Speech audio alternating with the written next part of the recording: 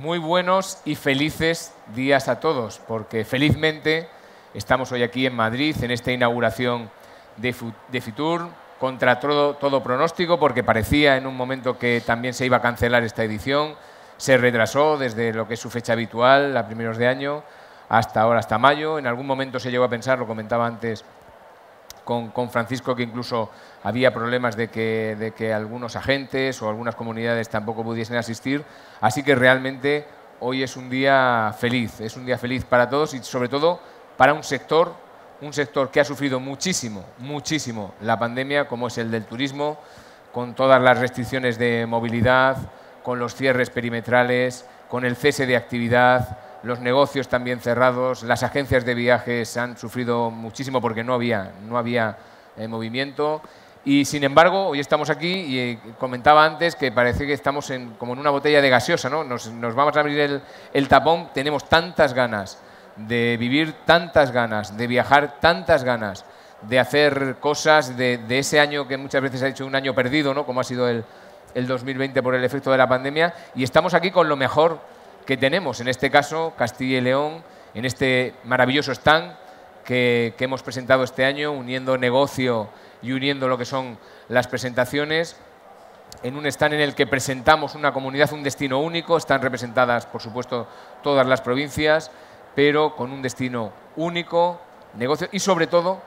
estamos aquí en un stand hoy de la mano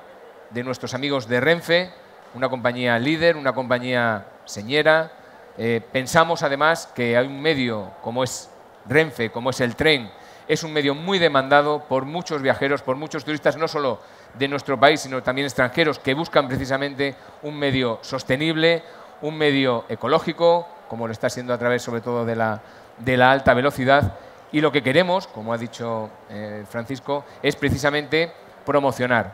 Este es un acuerdo marco, un convenio marco en el que a partir de aquí se van a eh, realizar distintos acuerdos para promocionar Castilla y León, para promocionar todo lo que tenemos. Tenemos cultura, tenemos patrimonio, tenemos naturaleza, tenemos enología, tenemos gastronomía y tenemos además unos profesionales a los que desde aquí debemos agradecer la calidad de su servicio, su profesionalidad, lo que han aguantado, cómo se han sabido adaptar a unas circunstancias tan difíciles en un momento en el que digo han primado y lo comentábamos también antes, han primado las cuestiones sanitarias. Yo siempre digo, ahí hago el,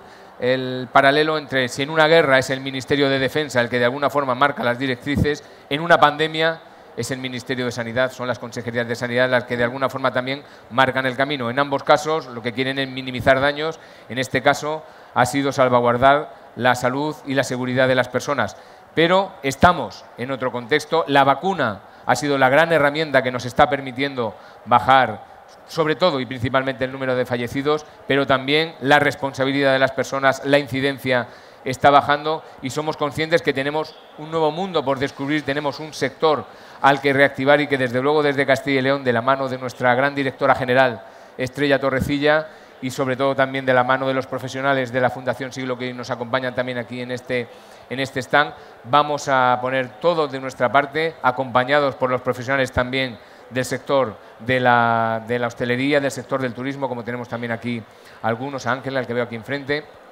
Vamos a ser capaces de, entre todos, y en esta parte, sector privado, sector público, entre todos, apoyándonos, colaborando, vamos a ver si reactivamos este sector y convertimos de nuevo a nuestro país en lo que siempre ha sido un destino de referencia, un destino líder y en el caso de Castilla y León, un destino líder en turismo de interior y muy pronto, muy pronto lo vamos a hacer. Así que nuevamente felicitarnos todos por estar aquí, eh, apoyar y animar a todo el sector, a todos los profesionales, dar las gracias de nuevo a Renfe y a Francisco por esta nueva oportunidad de seguir caminando juntos, en este caso de seguir viajando juntos en tren y esperemos que si todo ayuda, que esperamos que sea así, pues esto lo vamos a conseguir. Así que muchísimas gracias, Francisco, y feliz Fitur para todos. Muchas gracias.